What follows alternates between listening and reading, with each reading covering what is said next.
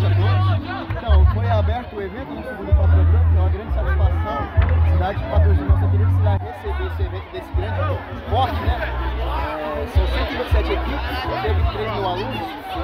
E a nossa preocupação é, é estar sempre presente, mostrando o policiamento, fazendo aquele, aquela interação no meio do representante nosso, que vai estar constantemente acompanhando todo o decorrer do evento, Sargento Nilson, que é especializado fazendo esse acompanhamento e supervisionando também, né?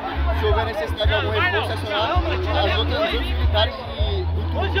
E a nossa preocupação também é garantir o, transcorrer de evento de forma, é, equil- é, de forma alegre, que seja um evento que todos possam usufruir, aproveitar, ter excelente desempenho e o, o objetivo que seja esse, esse campeonato seja realizado de forma exitosa, todos possam aproveitar a cidade. Então, o que, que eu posso? Qual a orientação que temos para os alunos? Geralmente, esses alunos, como vêm de outros estados, outras cidades, geralmente trazem alguma quantia de dinheiro espécie.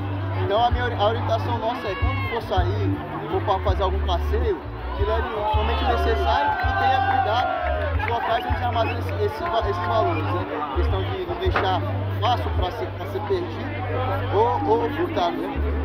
Também a questão do, do- da, da segurança como um todo, né? o acompanhamento dos familiares, que, que qualquer, dúvida, qualquer situação ou problema pode acionar a Polícia Militar pelo 190, estaremos à disposição para garantir um excelente evento a todos.